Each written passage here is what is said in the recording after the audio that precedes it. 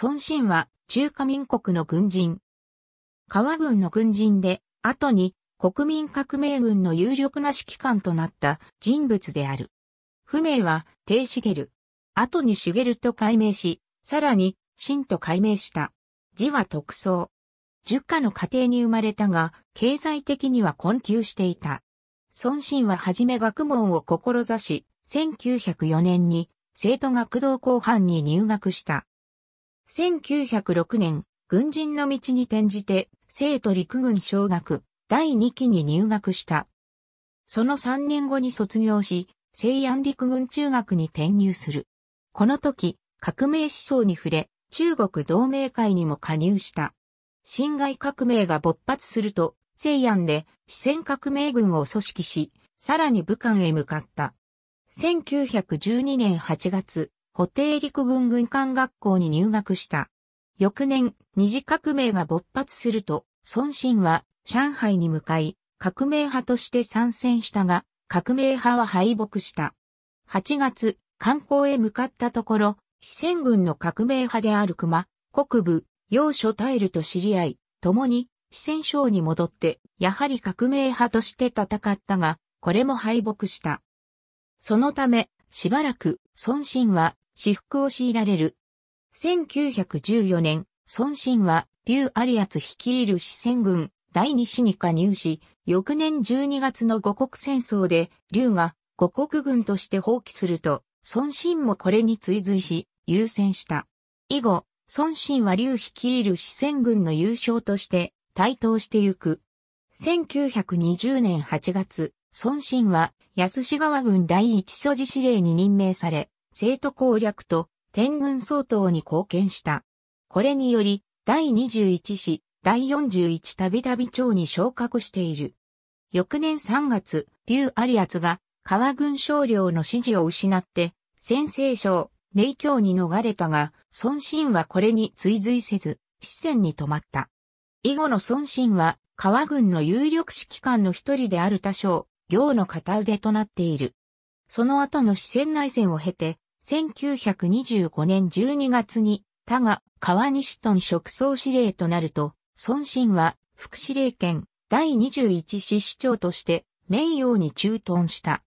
翌年12月に他が国民政府に転じて国民革命軍第29軍軍長となると、孫は副軍長兼第一素地司令に任ぜられた。孫信は自軍の訓練に勤しんだだけでなく、教育事業、経済振興、農地開発、文化奨励にも熱心であった。その分武両面での手腕は、川軍軍人の中でも結出したものであったとされる。1932年、孫信は他商業と対立の末に上海に一時出奔したことがあった。しかし結局、他の要請により復帰し、劉フミテルら対立する川軍指揮官との戦いを続けた。調整中の皇軍第四方面軍が四川を通過した際には、他と孫信はこれを迎撃したものの、大敗に終わる。ついで、川軍のリーダーと目される劉将の下で、他、孫率いる第29軍は、他軍と共に皇軍を包囲攻撃した。しかし1935年3月、皇軍は第29軍の防衛線を突破してしまう。これにより、他は小解析から責任を問われて、第29軍軍長を罷免され、孫信が公認軍長となった。さらに5月には、孫信は第41軍軍長とされている。1937年、日中戦争が勃発すると、孫信は第22集団軍副総司令権第41軍軍長に任命され、日本軍を迎撃するために山西省方面の戦線に投入された。孫信は最前線で磯谷蓮介。12月、李宗人が統括する第5戦区に戦利。翌年2月、孫信は第22集団軍総司令に昇進した。孫信は日本軍を恐れて逃亡した第五戦区、副司令長官、反復に代わる形でロミナミに入る。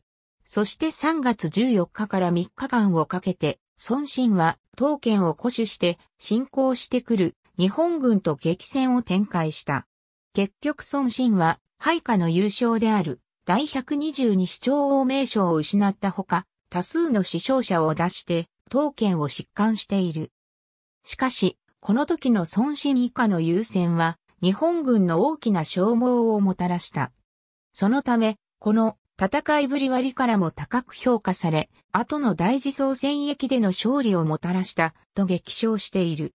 孫信はその後も各地で日本軍との戦いを続け、1939年5月の学北海戦、1941年5月の随夏目海戦、1943年5月から8月の2度の学西海戦などに参戦し、何度か日本軍を撃退する功績を立てている。1942年、第5戦区副司令長官権、第22集団軍総司令に昇進した。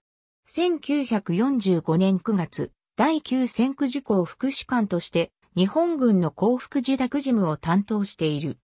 1946年5月、定州水税交渉副主任権第5、水税区司令官に任命される。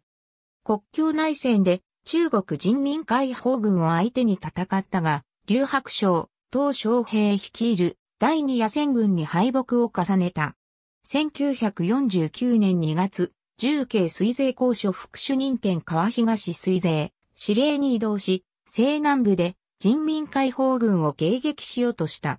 しかし、同年12月、川軍の東鈴公、劉文照らが人民解放軍に内通、武装放棄してしまう。身体極まった孫信は交渉主任の楊森と共に台湾へ逃れた。台湾では総統府戦略顧問委員会戦略顧問に任命された。1952年に退役し、総統府国策顧問、国民大会代表、幸福大陸設計研究委員会委員、県政権内委員会委員などを歴任している。1985年9月9日、台北で病没。去年94。ありがとうございます。